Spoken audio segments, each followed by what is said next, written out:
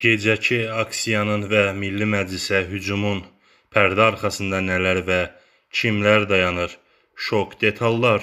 Dünən axşam saatlarından başlayaraq Bakıda orduya dəstək şüarı altında minlərlə insan küçələrə çıxdı. Onların məqsədi Tovuz rayonunda ermənilər tərəfindən şəhid edilən hərbiçilərimizin qisasının yerdə qalmayacağını və ordumuzun yanında olduqlarını nümayiş etdirmək idi. Əvvəlcə Azadlıq meydanına toplaşan insanlar sonra Şəhidlər xiyabanına doğru hərəkət edərək şəhidlərin ruhuna ehtiram bildirdilər.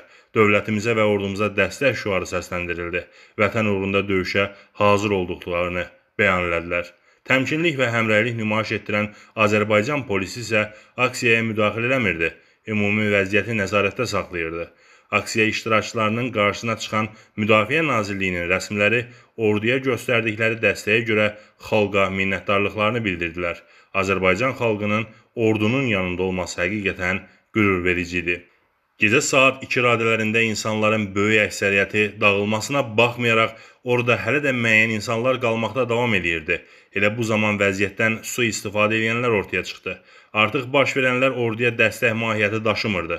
Yaranmış vəziyyətdən su istifadə edən bir qrup şəxs təxribata əl atması nəticəsində ortaya heç bir məntiqə sığmayan mənzərə çıxdı. Təxribatçı qrup parlamentin qapı və pəncərələrini sındıraraq zorla içəri daxil oldular. İçəri daxil olanlar oradakı avadanlıqlara da ziyan vurdular. Artıq onların bu hərəkətinə göz yummaq olmazdı. Təmkin nümayiş etdirən polis əvvəlcə xəbərdarlıq etdi. Təxribatçılar buna məhəl qoymadıqda polis müdaxilə etmək zorunda qaldı.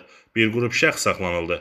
Xüsusi vasitələrdən istifadə etməklə Milli Məclis qarşısındakı meydan boşaldıldı. Təxribatçılar qarışıqlıqdan istifadə edərək orada polis maşını və avtobusa ziyan da vurdular. Qısa müddətdən sonra polis ərazidə asayişi təmin edə bildi. Bir andaca dövlət və ordumuza dəstək aksiyası hansısa qüvvələrin göstərişi əsasında öz istiqamətini dəyişdi. Dövlət binalarına hücum nəticəsində yaranan ixtişaş xoş olmayan görüntülərlə nəticələndi. Bir qrup mənfur insanın vətənpərvərlik və milli birlik hissi altında keçirilən mitinqə kölgə saldı. 90-cı illərin əvvəlini xatırladan bu görüntülər həmin dövrdə olduğu kimi bu gün də insanlar arasında çaşqınlıq, xaos yaratmaqla vəziyyətdən milli yox, şəxsi maraqları naminə istifadə etmək cəhdləri idi. Lakin unutmayaq ki, bu cür mənzərə düşmənlərimizin işinə yarayır. Şəhidlər xiyabanı qarşısında baş verən bu hərəkət orada şəhid yatan hərbiçilərimizin ruhuna da hörmətsizlik oldu. Amma nə xaricdəki düşmənlərimiz, nə də daxildəki təxribatçılar unutmasınlar ki, bu cür ucuz təxribatla Azərbaycan xalqını dövlətinə qarşı qoya bilməzlər.